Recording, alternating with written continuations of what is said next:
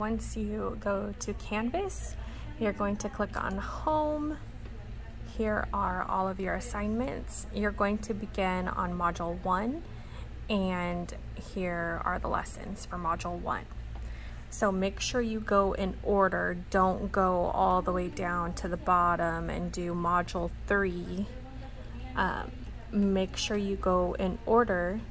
They're all numbered, 1, 2, 3, 4, 5, 6, you'll click on it. And then I always highlight them. So you can click on the highlighted link. Click on the link. And then it will take you to Burlington English. And there you will log in with your username and password. Um, the first part always gives you the goal that you're working towards for this lesson. And then after you finish reading you'll go to number two over here.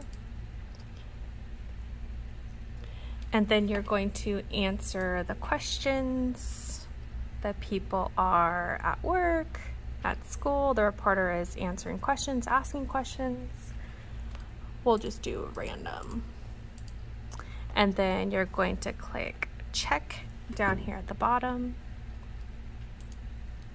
And you can see that I got two of them incorrect and then one was correct. So now I want to redo it. So you're going to say reset.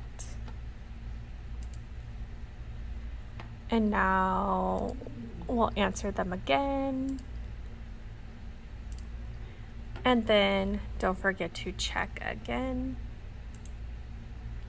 And now you see that they are all correct. So when you're finished, you're gonna go to the next lesson. Um, for this one, you can record my speaker is not working.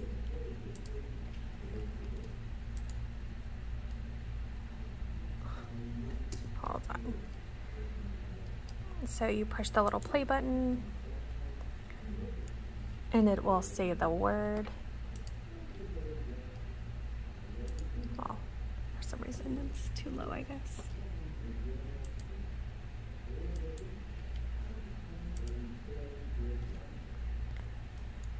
So click play. Reporter.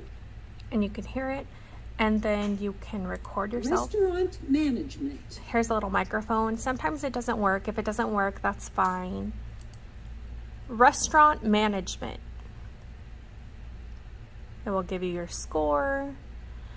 Um, the little world, if you click on that, it will tell you in your language. If you speak Spanish, it will be in Spanish. If you speak Arabic, it'll be in Arabic or whatever language you speak. When you're finished, um, you would go to the next one, click on the pictures that correspond with the writing. You'll finish all 12 and then when you're finished, you're gonna go back to Canvas and then you're going to say um, submit assignment. Hold on, let's see. That one we already did or start assignment. And then right here, you're going to type completed.